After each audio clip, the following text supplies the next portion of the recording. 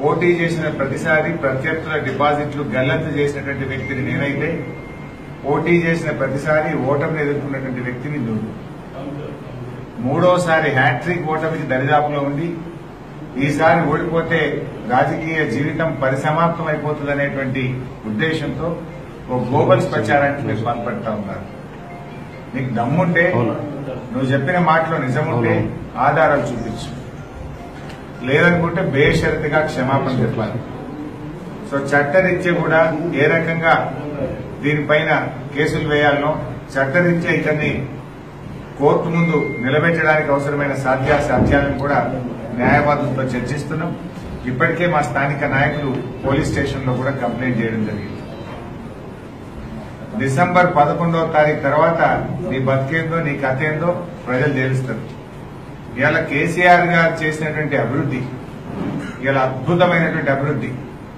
అరవై రెండేళ్ళలో గత ఎంతమంది ఎమ్మెల్యేలు ఈ గజ్వేల్లో పోటీ చేసి ఇప్పటిదాకా గెలిచినారో అంతకంటే రెట్టింపు అభివృద్ధి ఈ నాలుగేళ్ళ హయాంలో కేసీఆర్ ప్రభుత్వ హయాంలో జరిగింది.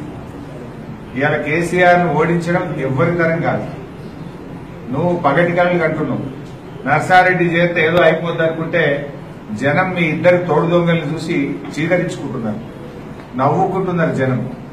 ఈ ఆయన చేరిన తర్వాత ఏదైనా పెరుగుతుందేమో అనుకుంటే తగ్గినటువంటి పరిస్థితి. ఆయన డిపాజిట్ పోయేటువంటి పరిస్థితి ఏర్పడ్డది. దాంతో నీకు ఫ్రస్ట్రేషన్ వచ్చింది.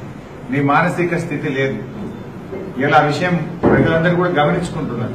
నువ్వేం మాట్లాడుతున్నావో పొద్దున్న దాకా నువ్వేం చేస్తున్నావో దొంగ రాత్రి చీకట్లో ఇద్దరు తోడు దొంగల్లాగా ఎట్లా తిరుగుతున్నారో ప్రజలు గమనిస్తున్నారు.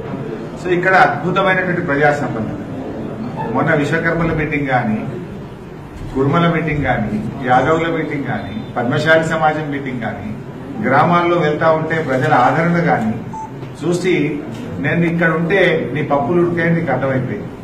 ఏదో ఇంత బురద ఏదో ఒక గందరగోళం తెచ్చి ఏదో ఒక రకమైనటువంటి కన్ఫ్యూజన్ క్రియేట్ చేసి నాలుగు ఓట్లు సంపాదించుకుందామని నువ్వు మాట్లాడతావు. గజ్వేల్ ప్రజలు చాలా తెలివైనటువంటి వాళ్ళు. నీ నీ సంగతి తెలిసిపోయింది. నువ్వు ఇట్లాంటి జమ్మికులు చేసుకుంటేనే ఇంతకాలం రాజకీయ జీవితం చేసినావు. ఒక్క ఒక్క సర్పంచ్ గాని ఒక వార్డు మెంబర్ గాని నీ జీవితంలో నువ్వేం గెలవలేకపోయినావు. రేపు కూడా నువ్వేం చేయవు. ప్రజా జీవితంలో వాస్తవాలు మాట్లాడాలి. ప్రజలకు దగ్గరగా ఉండాలి. గ్లోబల్స్లో రాజకీయాలు నడవయి. అబద్దాల పునాదుల మీద నీ రాజులు చాలా తెలివైనటువంటి వాళ్ళు నీ నీ సంగతి తెలిసిపోయింది. నువ్వు ఇట్లాంటి జమ్మికులు చేసుకుంటూనే ఇంతకాలం రాజకీయ జీవితం చేసినావు.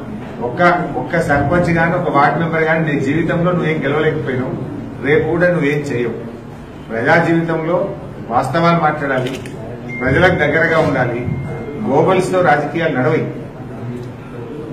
అబద్దాల పునాదుల మీద నీ రాజకీయ జీవితం ఉంది. మేము త్యాగాల పునాదుల మీద ఉద్యమంలో నుంచి మా రాజకీయ జీవితం ఉంది.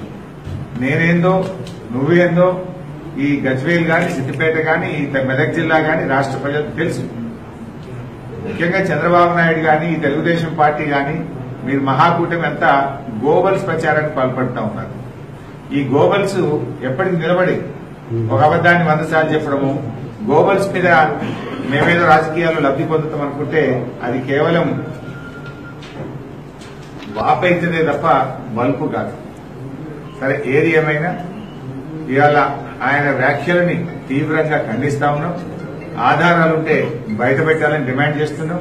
లేదంటే బేషరతుగా క్షమాపణ చెప్పాలని డిమాండ్ చేస్తున్నాం.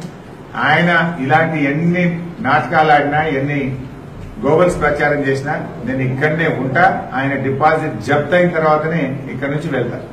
ఎందుకంటే ఆయనకి ఏమనుకుంటున్నా ఇట్లా ఏదైనా వేసేస్తే నేనేమన్నా కొంచెం తగ్గుతారేమో అనుకుంటున్నాను ఇంకా గట్టిగా పనిచేస్తాను నీ డిపాజిట్ గల్లంత అయ్యేదాకా నీ అంతు చూసేదాకా రాజకీయంగా నీ యొక్క అంతు చూసేదాకా కూడా నేను వదిలిపెట్టే ప్రశ్న లేదు. రాజకీయంగా నీకు సమాధి కట్టేదాకా నేను వదిలిపెట్టే ప్రశ్న లేదు. నువ్వు ఈ రకంగా గోబల్స్ ప్రచారాన్ని పాల్పడితే ప్రజలు నమ్మరు.